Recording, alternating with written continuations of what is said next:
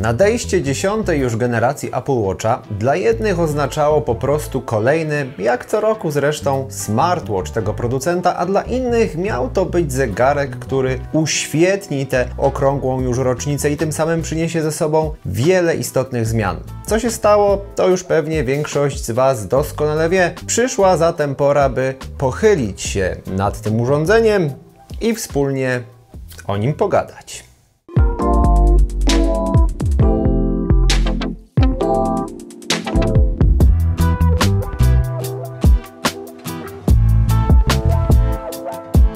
Apple Watch to jeden z chyba najwolniej zmieniających się produktów w gamie tego producenta, bo kiedy porównamy sobie obecny model z jego poprzednikami, to widzimy jak na dłoni, że każdy następujący po sobie model przynosił mniejsze lub większe poprawki, ale ogólna koncepcja zarówno interfejsu, jak i samego urządzenia i jego obłych kształtów pozostawała bez zmian. Nie mówiąc o czasie pracy baterii, który niezmiennie wynosi 18 godzin, jak deklaruje producent. Dopiero premiera modelu Ultra wywołała poruszenie, bo oto po wielu latach stagnacji marka zaprezentowała zupełnie nowy projekt tego urządzenia, opatrzonego również inną filozofią, tym razem przeznaczoną dla tych bardziej wymagających użytkowników, którzy trenują częściej i nierzadko w trudniejszych warunkach i to właśnie z myślą o nich powstało urządzenie m.in. z wyraźnie wydajniejszą baterią czy solidniejszą solidniejszą kopertą. Widząc więc, że Apple jest nam w stanie dać urządzenie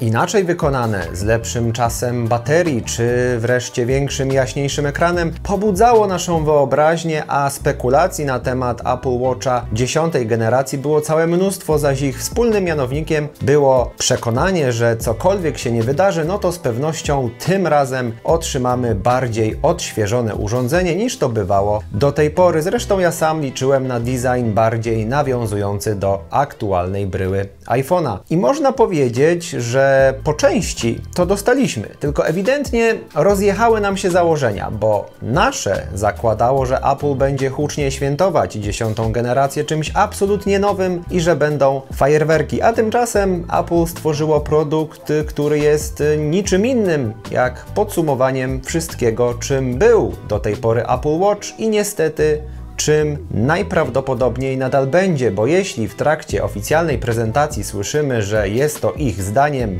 przeprojektowany zegarek, no to każe to sądzić, że marka nie widzi dla niego w przyszłości innego kształtu czy zupełnie nowych elementów, co z kolei oznacza dla nas kolejne lata z mniej więcej tym samym, co dostawaliśmy do tej pory. I tu od razu trzeba rozbić ten mój wywód na dwie perspektywy.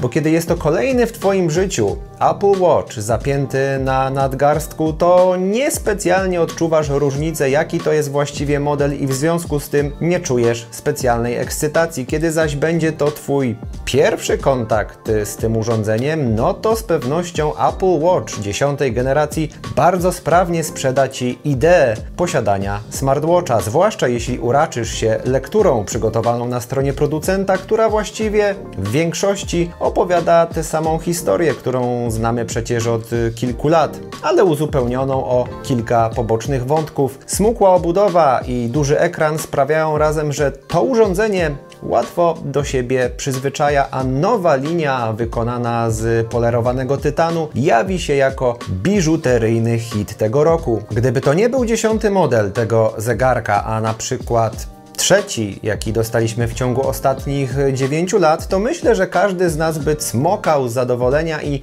bardziej doceniał wszystkie, nawet te najmniejsze zmiany, jakie tu zaszły, bo rzeczywiście jak przyłożymy do siebie model z trójką w nazwie do aktualnego, no to widać, że coś tu jednak się zmieniło przez te ostatnie lata, a tak odpakowałem, założyłem i przypomniałem sobie, że to kolejna jesień w moim życiu i ten sam Apple Watch, którego co roku zwykłem testować.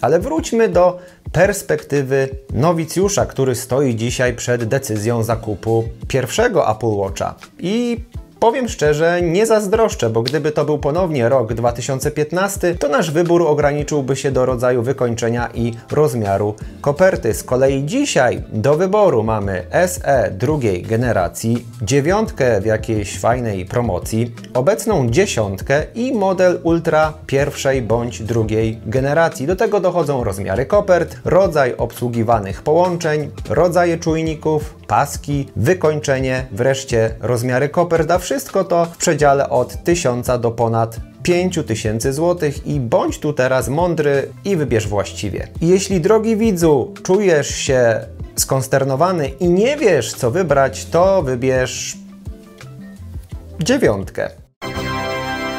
Dlaczego akurat dziewiątkę? Bo po pierwsze wkraczamy pomału w okres promocji oraz wyprzedaży i podejrzewam, że właśnie ten model cenowo jeszcze bardziej oddali się od aktualnej dziesiątki, co będzie jego sporym atutem, zważywszy na niewiele istotnych różnic, które dzielą oba modele. Po drugie, już na starcie masz zegarek o generację starszy, co również ja potraktowałbym jako atut w przyszłości, kiedy będziesz rozważać zakup następnego. Apple Watcha, bo większa szansa, że po prostu docenisz taką zmianę. Jeśli mnie jednak nie posłuchasz i uznasz, że wolisz dziesiątkę, no to tak, realnie w najnowszym modelu, poza oczywiście dokładnie tym samym oprogramowaniem, zyskasz dosłownie kilka rzeczy. A będą to Odrobinę większy wyświetlacz o lepszych kątach widzenia, zaś jego niższa częstotliwość odświeżania pozwala w pełni śledzić wskazówkę sekundnika. Nowy procesor, z którego obecności na razie nic nowego nie wynika. Nowy czujnik temperatury wody i głębokości, z którego dla większości ludzi na tej planecie nic nie wynika. Głośnik, który umożliwia pełne odtwarzanie multimediów.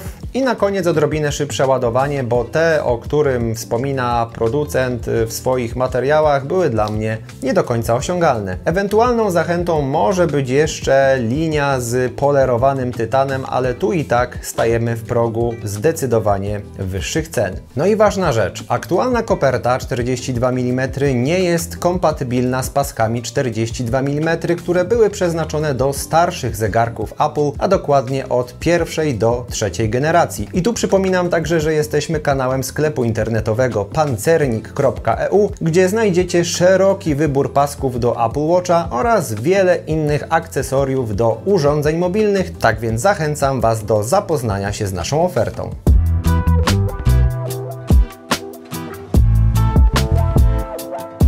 A jak ja spędziłem ostatni tydzień z tym zegarkiem? No, fajny zegarek tak sobie pomyślałem, że to takie właściwe miłe doświadczenie, kiedy wracam do niego rok po roku. To trochę tak jakbyś miał taki rytuał, że co roku, kiedy rozpoczyna się okres jesieni, to odpalasz maraton z serialem Przyjaciele i do tego popijasz sobie na przykład herbatkę z miodem i wiesz doskonale, że ta rozrywka nigdy nie zawodzi i dokładnie tutaj jest to samo. Muszę się też pochwalić, że udało mi się ustanowić y, nowy rekord pracy na baterii w tym zegarku, bo raz standardowo był to jeden dzień, ale wtedy częściej sprawdzałem godzinę, spędziłem cały dzień poza domem. Do tego słoneczna pogoda, więc ekran też się odpowiednio rozjaśniał. Zrobiłem ponad godzinny trening wioślarski. Doszło także kilka odebranych połączeń, kiedy rozmawiałem bezpośrednio przez zegarek zegarek i szast prast zjechałem do okolic 10%, kiedy wieczorem zameldowałem się w domu. Ale nastały potem takie dwa dni, które głównie spędziłem w domu i niespecjalnie interesowałem się tym zegarkiem. Miałem wtedy za sobą analizę snu, jakieś sporadyczne powiadomienia, nic już tutaj nie ustawiałem, nie wybudzałem co chwilę ekranu i dobiłem w ten sposób do praktycznie dwóch pełnych dni, więc to też jest tutaj jak najbardziej osiągalne, ale warto podkreślić, podkreślić, że jednak w bardzo specyficznych warunkach i najlepiej nie ruszać się wtedy poza obręb swojej sieci